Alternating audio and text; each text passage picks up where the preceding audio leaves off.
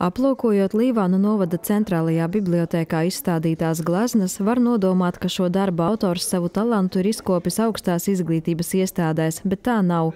Līvānietis Viktors Tokarevs gleznošanu ir apguvis pašmācības ceļā, nav apmeklējis ne mākslas skolu, ne gleznošanas kursus, turklāt sācis ar to aizrauties jau būdams pieaudzis. Pārsvarā tiek gleznoti dabas skati, un darbā tiek izmantotas eļļas krāsas. Agrāk es glaznoju portretus, bet tagad man redzē ir slikta. Portretus nevaru glaznot. Man nepieciešamas divas brilles, vienas tālumam, otras, kad jāskatās tuvāk. Nevaru portretus zīmēt. Ja daudzi glaznotāji dodas dabā, lai iemūžinātu redzēto, tad Viktors to nedara un nekad nesot darījis.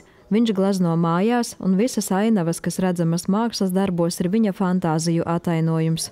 Domāju, no Es domāju vienu, sāku zīmēt attēlu, sanāk kaut kas cits, pēc tam es varu visu aizkrāsot un pārveidot citādāk. Es nezinu, kā tas izdodas, bet es citreiz varu pamosties naktī un sākt glaznot. Viktors Tokarevs Līvānos dzīvo kopš 1971. gada. Viņš ir strādājis Līvānu stikla fabrikā par stikla pūtēju un gravieri.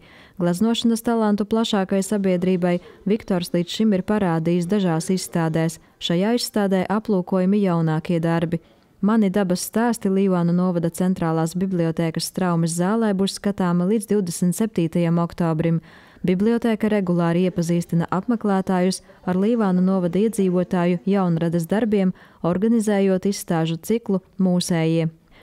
Sandra Paigļkalne, Kaspars Deņļevičs, Vidusdaugavas televīzija.